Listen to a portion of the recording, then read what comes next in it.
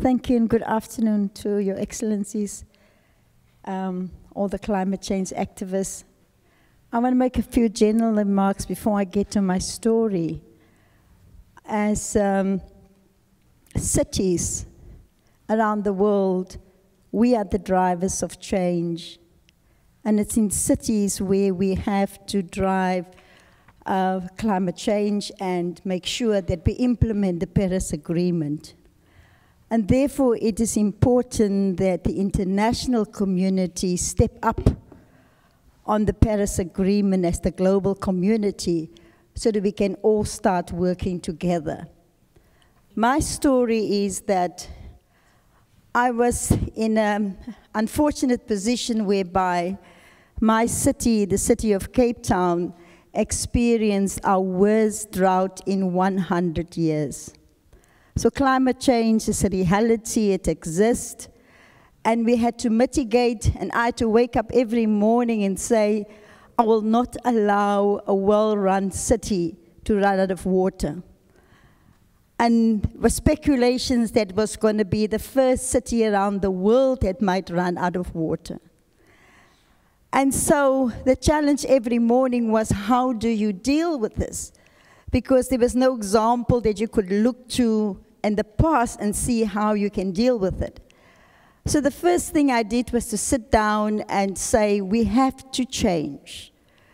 And we did a scenario planning that came up with a scenario of the new normal, and the new normal being that we will never be the same, that we can no longer rely on rainwater only. Uh, to sustain ourselves, we have to augment, we have to change our relationship with water. And so we start as a collective, as a city. In 2016, we were using 1.1 billion liters of water per day. As I speak to you now, we've reduced that to 500 million liters of water per day.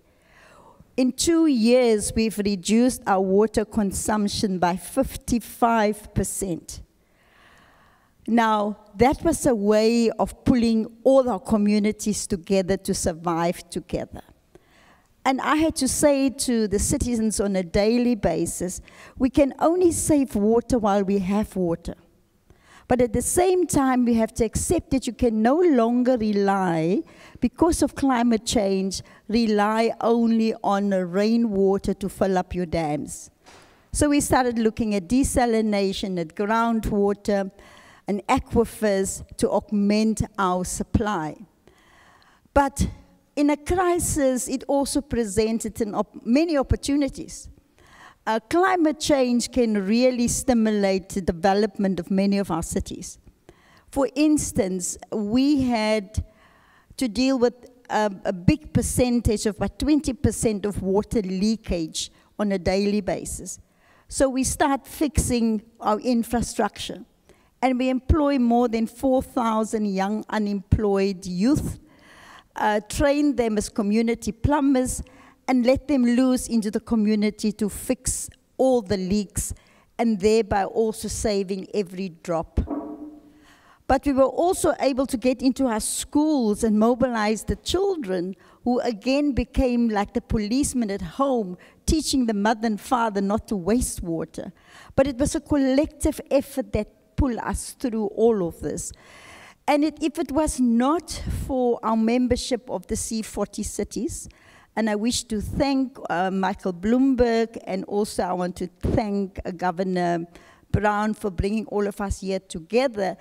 I was able to pick up the phone to any mayor anywhere in the world, and including the mayor of San Francisco, because San Francisco had also gone through a, a, a massive drought uh, during that time. So networking is important. But we have to get our national governments, and I'm not trying to blame them, but they need to begin to see the urgency of dealing with climate change. And that, yes, COP21 in Paris was important, and we've all rectified all of those agreements, but the time has come now to walk the talk. No more policies, only development, but see at how we implement at city level, at state level, how we reduce and mitigate the effects of climate change. I believe that if we step up our fight against climate change, we will be able to save the future world and make a climate safe world. But we don't have time. We have to do it now and we have to start taking action now. So that is my story for the most southern tip of the city, I mean, of, of, of continent of Africa. It was a hard lesson to learn to, to, to keep uh, water is life and to keep water, to make it available to our citizens on a daily basis. And I'm sure I can share my experience with many other cities uh, who are here in, in San Francisco to attend the summit who's gone through the same thing. So thank you for the opportunity and God bless.